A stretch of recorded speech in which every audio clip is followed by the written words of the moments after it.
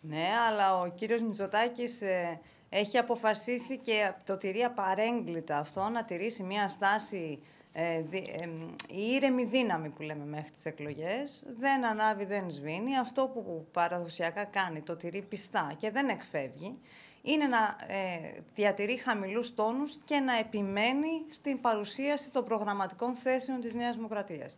Ο κύριος Μητσοτάκης λοιπόν ε, είπε ότι δεν υπάρχει περίπτωση να ε, λάβει ε, ε, έκτακτα μέτρα, διότι είναι βέβαιος ότι θα επιτευχθούν οι στόχοι οι δημοσιονομικοί το 2019.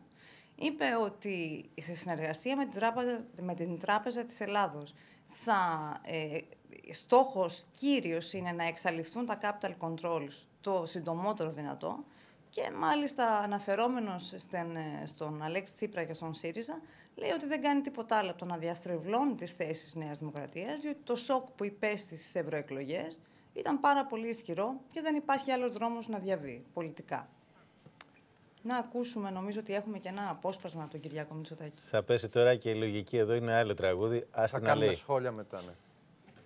Κύριε Πρόεδρε, διαβάζω σήμερα το πρωτοσέλιδο της Αυγής που λέει τι συζητήθηκε για το ασφαλιστικό από τους μυστικοσύμβουλους του κυρίου Μητσοτάκη. Μπορείτε να πείτε ποιοι είναι και οι μυστικοσύμβουλοι. Εγώ δεν γνωρίζω. Όχι, λέω, διαβάζω τι- απλώς α, ναι, το ναι. πρωτοσέλιδο. Μισή σύνταξη θα εγγυάται το κράτος, το υπόλοιπο μισό των συντάξιμων αποδοχών θα εξαρτάται από την επενδυτική επιτυχία των ασφαλιστικών εταιριών. Και σχέδιο για φόρο στην ενέργεια για να καλυφθεί το κόστος μετάβασης στην ιδιωτική επικουρική ασφάλιση.